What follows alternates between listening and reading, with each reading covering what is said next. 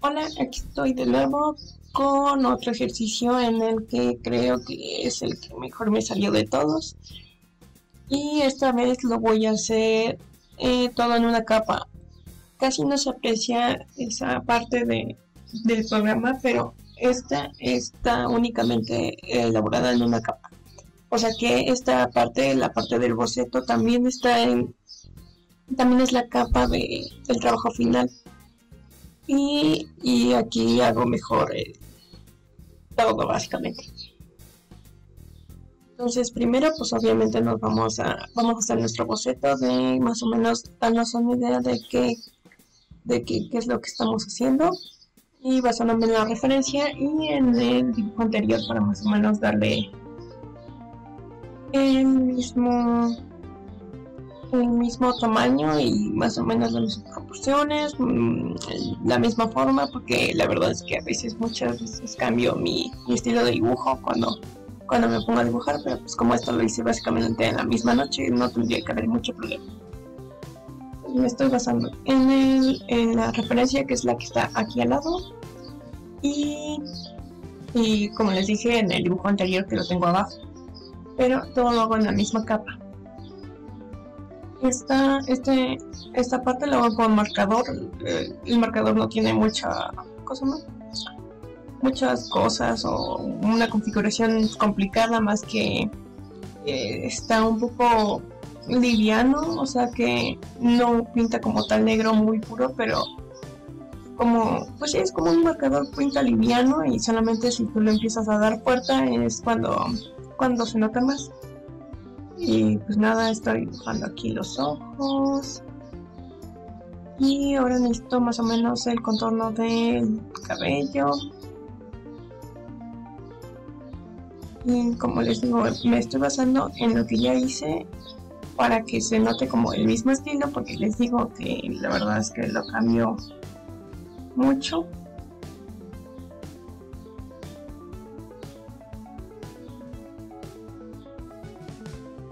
Entonces, em, pues no me tarda mucho haciendo el boceto, lo que me tarda más es el coloreo, pero pero este estos procesos no siento que no, al menos como solamente es el, el rostro, no, no me tomé mucho tiempo. Esto, lo, según la grabación, tardé una hora en terminarlo, o sea, desde el boceto, desde lo que están viendo hasta, hasta que lo termino, lo exporto y si acaso hice un poquito de edición de, de algunas cosas que no me parecían correctas, pero ya está después. Porque pues necesito una segunda opinión, necesito que alguien lo vea y me diga, sabes que esto se ve raro y yo no lo notaba y cosas así. Entonces, ah, esta es la segunda fase. Y aquí empiezo a darle el sombreado este creo es el... Ah, sí, este, este, cosa más, este pincel, el que estoy usando ahora mismo es el que uso para el cabello también. Y casi ya no uso el que tiene textura de lápiz. Porque pues de todos modos al final no se nota. Entonces este es el que uso más porque este también, cosa más, este es como lo configura al principio, este es el que tiene más el que alcanza más a grises que a, negros directo, porque el de lápiz lucía que, que, pintaba muy fuerte, por así decirlo. Entonces, este, este me gusta más. Este, incluso lo de la sombra me gusta más. Porque no se ve tan claro como el primero. Entonces, eso. Entonces ahorita le estoy pintando. Incluso siento que hice más rápido también esta fase porque porque pues ya sabía, desde después del primer ejercicio ya sabía qué onda, entonces por ejemplo ahorita creo que hago la mayoría del cabello terminado básicamente desde esta fase porque es, les digo es el mismo pincel que utilizo para esa, esa parte del dibujo, para el cabello y como no necesito borrarlo o difuminarlo con el, con el pincel de watercolor entonces lo puedo hacer de una vez. Um, pues eso es un poco tardado y así, pero pues con práctica y la verdad es que a mí me gusta esta parte de, del dibujo, pues pues no me no se me hace me pesado para nada. Entonces lo estoy haciendo y pues ya saben eh, los grises son para cosas que deben estar medio claras y los negros para lo más oscuro. Por ejemplo el cabello es muy oscuro porque es este es casi azul marino no entonces yo así tengo el por eso el cosa más el dibujo debe representar más o menos ese color. Si tú, si tú dijeras, ah, bueno, yo conozco el personaje y, me dicen si, si estuviera color se vería azul marino como se ve usualmente en el anime o en otros dibujos, pues de hecho así se ve. Entonces sí, el, el punto es que se vea correcto en la, en la iluminación en la escala grises que se vea correcto, que, que, que, te creas básicamente que, que, de ese color podría, podría verse. Entonces este, este ejercicio la verdad me ayudó mucho, solamente no sé cómo lo, lo, lo coloreas después, porque por ejemplo, este, como, como los bordes son medio pues desvanecidos porque el pincel no es este no es muy intenso o sea que los bordes no se notan mucho. Siento que tengo tendría problemas tratando de colorear esto.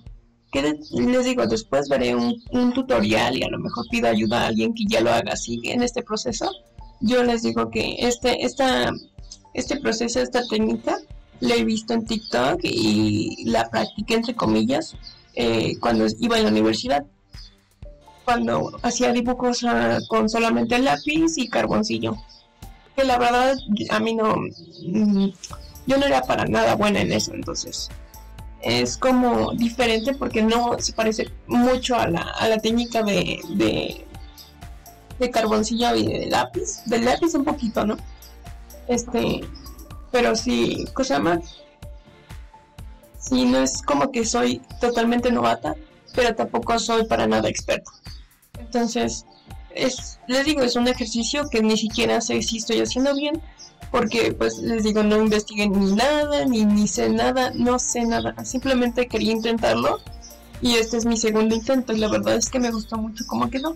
Creo que, creo que está bien, no es como que uh, la técnica que lo hice y como lo hice esté bien, sino que simplemente me gustó el resultado ahí ven el otro y, me estoy basando en lo que ella hizo. Digo, ah, ¿qué, me falta?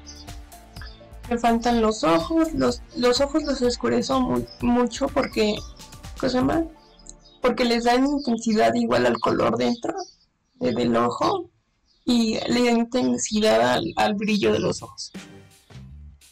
También debes hacer la sombra de, de la parte blanca. Aquí estoy editando el ojo porque Mm, me parecía que se un poquito visco. Y ahorita se ve un oscuro un ojo en general, más que el otro, pero después en la fase, la siguiente fase, este, pues, quito la parte, mira, ya estoy comenzando, quito la parte del boceto que no necesito, este, y empiezo a difuminar y a dar forma en, en, sombra y luz. Este, este pincel ya les había dicho que es watercolor y eh, aparte de cosa de combinarlos que parezca blu, blureado que no es lo que estoy buscando en sí. Eh, lo que busco es borrar un poco pero que no sea tan extenso. Entonces verán eh, ahorita estoy dando como unas puntas estoy mezclando el color pero no quiero que se vea como se vea como totalmente blureado. La verdad es que pues sí se ve un montón blureado no pero el punto es que haya, haya formas definidas. Por ejemplo, se tiene que dar a entender más o menos que, pues, cosa más, la parte de los pómulos, los, los cachetes, por así decirlo, este, están más iluminados porque pues ahí es donde da, la luz más, más porque así es el volumen de la cara. Ah, esto es, este estilo no es ni realista ni nada, es como, es simplemente mi estilo porque, cosa más, eh, yo siento que me quiero acercar y a la vez no al, al, realismo, pero no quiero salirme de, lo bien que se ve en el anime. Entonces, por ejemplo, no le hago, no, no hago los efectos de, de líneas ni de, de exageración de, de yoyos, pero tampoco, cosa más, tampoco los hago, cosa más, anatómicamente correctos, por así decirlo, porque en, sí no sé hacerlo. Eso, el, la anatomía totalmente perfecta todavía no la sé hacer perfectamente. Pero me gusta acercarme a un punto medio entre los dos, en donde se ven, reconoces al personaje, no dices, ay, se parece a una persona real, se parece al personaje. Y, y se ve realista, por ejemplo, la iluminación, lo que es en sí la iluminación. O sea, si, si el personaje se veía en 3D, más o menos se vería así con un filtro en blanco y negro, ¿no? Esa es la idea. Ay Dios, no puedo con lo hermoso que se ven los labios, no puedo. Eso salió de pura chiripada, la neta, no sé ni cómo voy a volver a hacer eso alguna vez. Pero, pero, pero me alegra que haya pasado al menos una vez. Entonces les digo, les, le doy forma con las sombras y con, con el blanco. Le doy forma al rostro. Por ejemplo, a mí me gusta como cambio también del rostro, la forma del rostro, que se parece más a cómo se ve el personaje. En el otro creo que se veía más delgado y como que no se ve así el personaje en sí, la forma de la cara. Mm, Ah, muchas veces estoy editando los ojos porque son las cosas que yo más noto, que más gustan más del, personaje. Entonces, casi siempre estoy editándolo y a lo mejor ni, ni quedó como debería quedar. Pero pues eso, a mí me basta con que yo lo, yo lo apruebe y se lo enseño a alguien más para que lo vea y dice y me, diga si está así de raro o algo así. Entonces, ah, seguimos. Mm, creo que la parte que más rápido paso es la del, la del cuello, la del cuerpo, porque pues casi no hay muchas formas ni, ni mucha cosas que hacer porque pues cosa si ya tienes el, el cosa bien sombreado el cuerpo desde el principio, desde la, la segunda fase después del boceto, pues casi no tienes que hacer nada, o sea, como que casi casi ya quedó si acaso faltan algunos detalles que tengo que seguir verificando, tienes que seguir viéndolo, tienes que ver el dibujo después, como un tiempo después. En, dibujar, ¿cómo se llama? De seguido, yo lo hago más así porque siento que si, si lo hago después, se me van las ganas. Pero tienes que verlo después y seguirlo eh, moviendo porque a veces, este, por estarse acostumbrado a verlo, al ver al personaje de una forma, en el momento en el que estás haciéndolo no, no notas algunos errores que, que momentos después podrías notar. Entonces, por eso ya estoy empezando a dibujar con dibujos desde antes y dejar días que pasen y ver si lo publico o no, porque me ha pasado que, que tengo errores y también necesito una persona que los vea antes. Entonces les digo, checo a lo mejor errores o cosas que tenía en el primer ejercicio y después ah, lo checo en el otro, ¿no?